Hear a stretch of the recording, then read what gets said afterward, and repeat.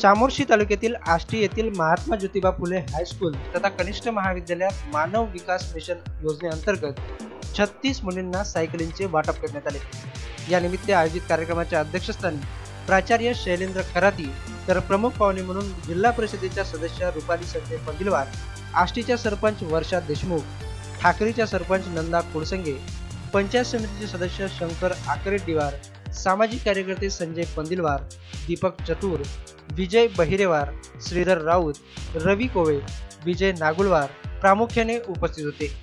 या कार्यक्रमात इल्लूर येथील दहा मार्कंडा कणसोबा येथील सहा पुनगाडा येथील पाच तारसा येथील तीन ठाकरी येथील एक दुर्गापूर गावातील एक चपराडा येथील दोन व राळापेठ येथील आठ विद्यार्थिनींना सायकलींचे वाटप करण्यात आले. गणेश शिंगाडे जय विदर्भ न्यूज आष्टी.